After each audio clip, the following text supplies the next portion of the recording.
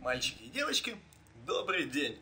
С вами Павел Лохнин, и сегодня специально для группы To Six Drum School, а также барабанда и многих других, само собой, я снимаю давно обещанное видео о трюках. Подбрасывание представляет из себя подкидывание палочки вверх, а затем после совершения ею нескольких оборотов а, ловление ее вами. Вот простейший пример. А, что у нас здесь происходит? Мы просто берем и подкидываем палочку вверх вот таким вот кистевым движением. Вот. Либо высоко, либо низко. И ловим после того, как она совершает один оборот. Подкидываем ее именно с таким, ну, скажем так, зазором по времени, ну, с такой как бы силой, чтобы она совершила ровно один поворот, после чего упала к нам в руку. То есть, если мы ее подкинем слишком высоко, то не факт, что она совершит один поворот и упадет нам в руку, например, как сейчас мне. Также существует обратное подкидывание палочки. Вот. Выглядят они таким вот образом.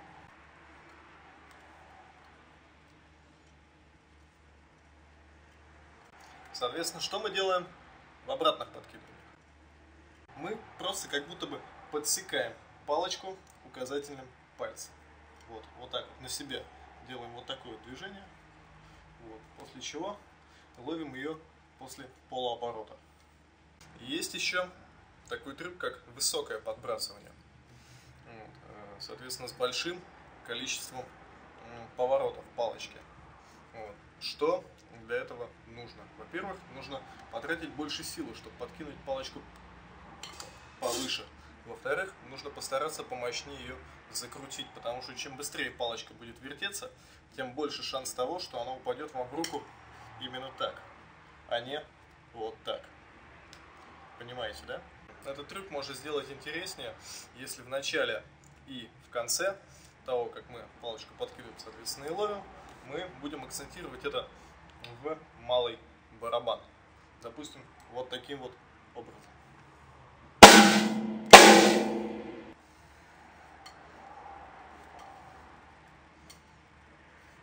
А подкидывать палочку можно и из традиционного замка. Вот для этого нам с вами нужно делать в традиционном замке такое же движение, которое мы обычно делаем перед э, ну, просто обычным а, собственно, одиночным ударом, как показывал Мюллер. То есть вот это вот движение вверх, да, но здесь мы просто кистью вот так вот как будто выбрасываем палочку, после чего ловим ее. Вот так же в традиционный замок. Вот, постарайтесь подкидывать палочку так, чтобы она летела максимально вверх, в одной вертикальной плоскости. Вот, то есть, чтобы она не улетала там влево, вправо, там, вперед, назад, соответственно, когда вы будете подбрасывать ее. А то велик шанс того, что она приземлится где-нибудь у вас за спиной. Следующий вид трюков называется кручение. Самый простой вариант кручения это, как я думаю, вам известно, зажимание палочки между двумя пальцами, соответственно, вот этим вот, либо в средней фаланге, либо в самой первой. Вот после зажатия палочки вот, происходит достаточно интересный процесс э, исполнения самой кистью. Вот, можно его назвать э, кручением. Да, в принципе, что это и есть. Вот, получается такое вот кручение. Да. Э, либо можно помогать себе только пальцами, то есть уже без кисти, но это уже для профи. Потому что поначалу пальцами будет не получаться исполнять те же самые движения. То есть, по сути, миниатюризировать то, что вы делаете кистью. Вот. То есть кистью выполняете вот такое движение, ну как будто круг. Вот. Пытаетесь нарисовать средним пальцем. То же самое с этой рукой. Сначала только кистью, а затем только пальцами. Вот. Вы можете выполнять это как в первой фаланге, так и зажав палочку между второй фалангой. Вот. Но учтите, что во второй фаланге получается быстрее, но э, у палки больше возможность вылететь из руки. Ну и, соответственно, то же самое касаемо левой руки. Палочку можно крутить по часовой стрелке, против часовой стрелки. Также есть такой замечательный трюк, как вращение палочки в пальцах. С двумя полными вращениями, когда палочка переходит вам, э, собственно, обратно через указательный палец в кисть. Снова захват, собственно, замок. Либо э, одно вращение, и тогда палочку приходится перехватывать вот из этого места обратно. Вот так вот. Это не очень удобно, но если времени немного, а трюк сделать хочется, то это вполне выход. Это двойная, это одиночная.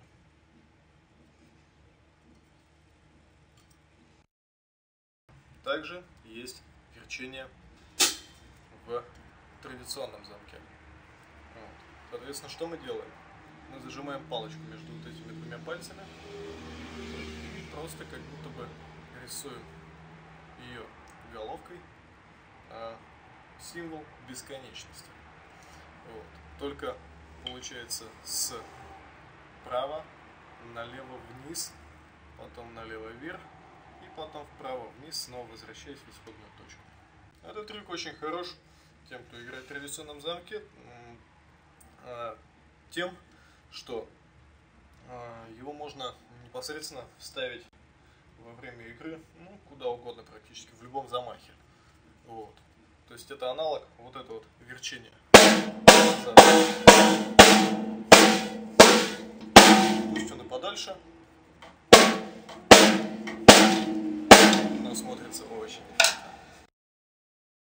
Следующий трюк, который я хочу вам показать, называется э, подбрасывание в стиле Майка Тирана.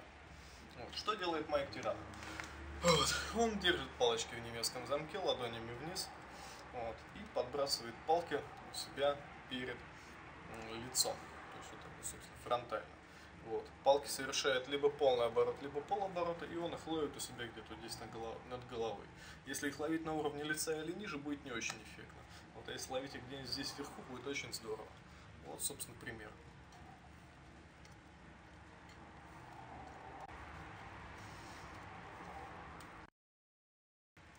Вот. Следующий момент, который хотел вам показать, это кручение палочек в так называемом госпел стиле. То есть берете французский либо немецкий замок и не выпуская вот, палочку, то есть не перекладывая между пальцами, как обычно, при исполнении вертящихся трюков, то есть вот этих вот всяческих, по часовой против часовой стрелки. Вы просто берете, берете, так вот, собственно, палочку, поворачиваете назад, да, и просто вот так вот проворачиваете вместе с кистью, возвращая ее в исходное положение.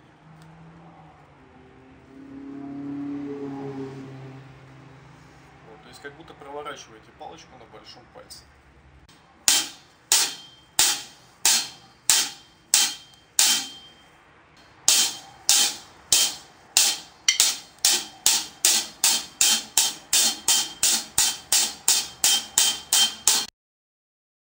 Следующий трюк, который я хотел вам показать, это так называемый backsticking. То есть, когда в процессе игры, допустим, исполнение какого-то рудимента на малом барабане, либо там на тарелке, не знаю, чем угодно на томе, вы периодически э, играете по этому инструменту задней части палочки.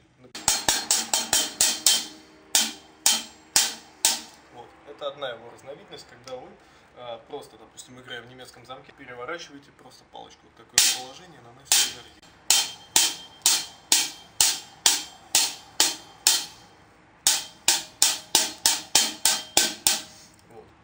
Второй вариант.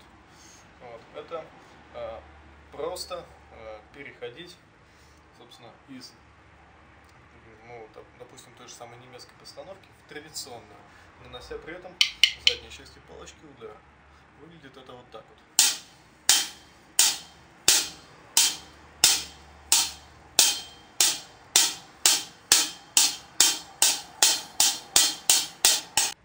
Есть такая штука, как а, собственно, вертолет, когда вы сначала из традиционного замка переходите вот в такой вот замок, когда у вас ладонь э, когда вы держите палочку, ну, как обычно в традиционном замке, но ладони смотрят вниз.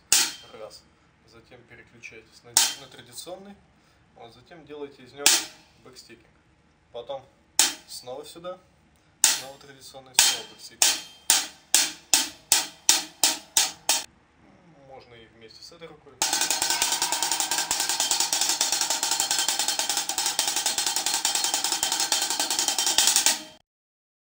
Есть еще такой вот трюк. Смотрите, я даже не знаю, как его назвать, но выглядит он вот так.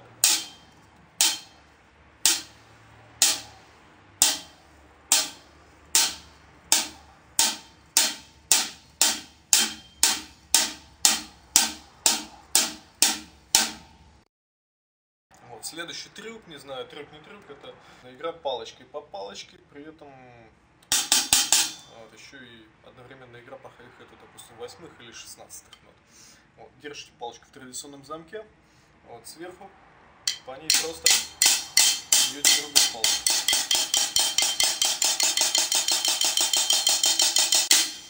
Вот. Это если вы не будете прижимать палочку большим пальцем. Как только будете ее немножечко прижимать шарниром, сразу же у вас количество отдробков увеличится в два раза получится, что на хэте вы будете играть 16 ноты, хотя вы всего лишь играете 8 соответственно, попало. Вот. Здесь очень важно найти у палочки правильную точку, по которой нужно бить, потому что если бить слишком высоко, отскоков не будет, если слишком низко, тоже. Вот. Так вот. Касаемо обратного кручения палочек. Есть такой замечательный трюк, я когда-то увидел у Virgil Donati, был невероятно впечатлен. Что мы делаем?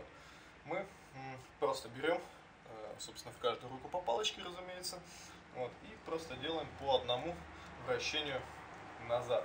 Соответственно, за спину головкой. После каждого вращения наносим удар по барабану либо по тому.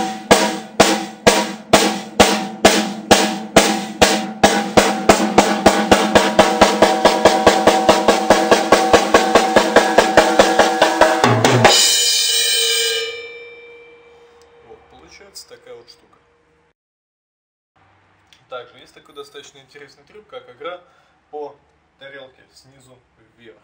Вот. То есть мы либо можем просто ударить по ней снизу,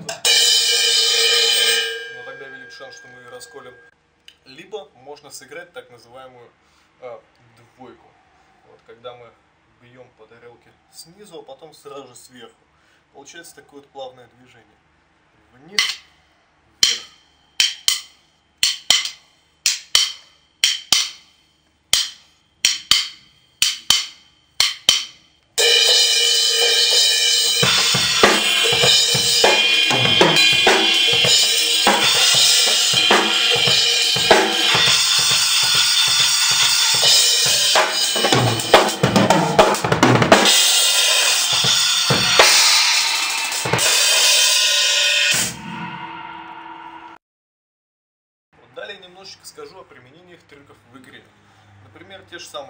кручения можно использовать во время каких-то пауз внутри песни, во время исполнения простейших рисунков.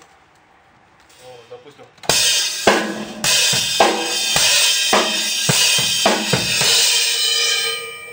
Причем желательно поворачивать крутящуюся палочку, э, скажем так, э, пропеллером к зрителям, а не вот так вот, боком к себе.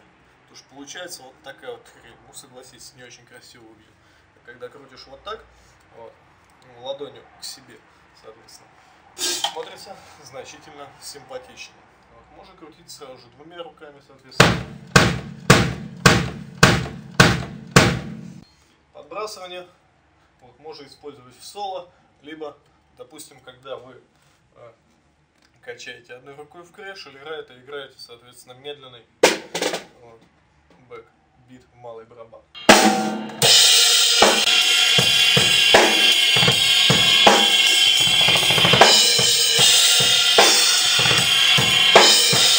В принципе, на сегодня все.